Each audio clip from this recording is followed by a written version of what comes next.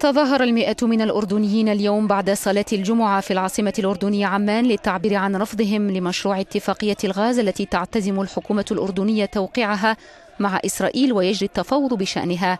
المسيرة نظمتها أحزاب سياسية وقوى مدنية أردنية. وتقول إحدى المتظاهرات اجتمعنا لأننا ضد شراء الأردن الغاز من إسرائيل وهو في الواقع ليس غاز إسرائيل وإنما هو غاز فلسطين والذي سرق من قبل إسرائيل. نحن ضد الصفقة لأن الفلسطينيين يموتون كل يوم. وبشراء هذا الغاز نحن نقوم بتمويل قتل هؤلاء الفلسطينيين.